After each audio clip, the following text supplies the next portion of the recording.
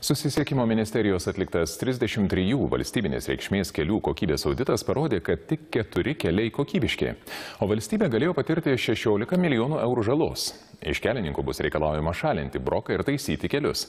Šie sako abejojantis tyrimų metodiką ir netmeta galimybės ginčytis teisme.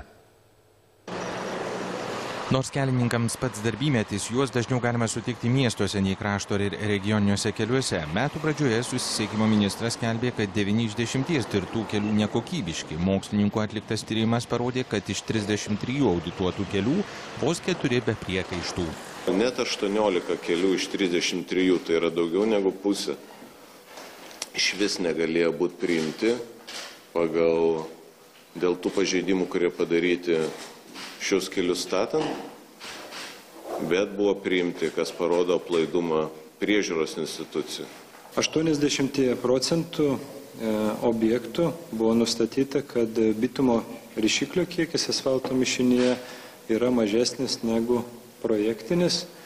Taip, e, didžioji daugumoje tai yra leistinose ribose, tačiau matome tendencijas, ko pasiekoje mes ketiname keisti normatyvinių dokumentų reikalavimus, kadangi esant mažesniam bitumo ryšiklio kiekiui, keliai greičiau trukinėja. Ministerijos vertinimų dėl defektų kelių tarnavimo laikas sutrumpėjo penkeriais metais, o valstybė patyrė 16 milijonų eurų nuostolį. Kelininkų žadama įpareigoti sutaisyti nekokybiškus kelius, tačiau jie abejoja ministerijos inicijuoto tyrimo metodiką ir netmeta, kad dėl priekaištų gali vykti teisminiai ginčiai. Kokie buvo reikalavimai, taip ir buvo daroma. Ir kokia buvo prieimimo darbų tvarka, tai buvo daroma. Mes po šiai dienai perkam darbus pagal mažiausią kainą.